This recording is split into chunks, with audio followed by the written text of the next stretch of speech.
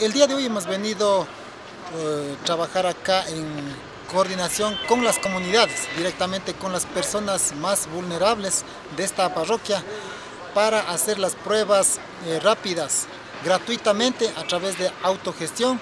Entonces, estamos trabajando con 100 pruebas rápidas.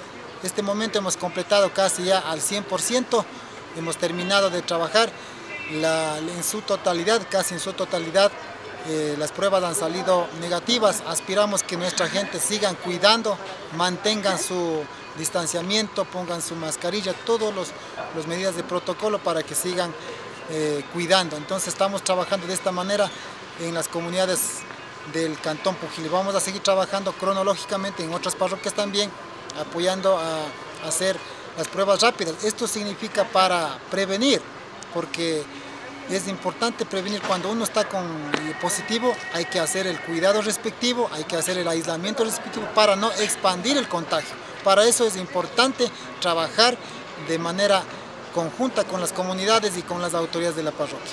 Aquí en Angamarca ha habido bastante acogida, tanto de la parte urbana, de la parte rural, todas las autoridades, todas las personas que necesitan hacer exámenes de, de, pruebas rápidas han hecho, han realizado con total satisfacción. Entonces realmente ha sido un gusto atender a nuestra parroquia, a nuestro cantón. Vamos a seguir trabajando de esta manera porque hoy es cuando tenemos que apoyar.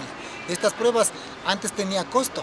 Eh, cuando iniciaba el pandemia, hoy gracias a la autogestión, gracias al apoyo de las instituciones, hemos hecho gratuitamente estas pruebas para saber cómo está nuestra gente, con qué síntomas está. Entonces, evidentemente no tenemos mayores problemas acá en Angamarca, seguimos de manera controlada.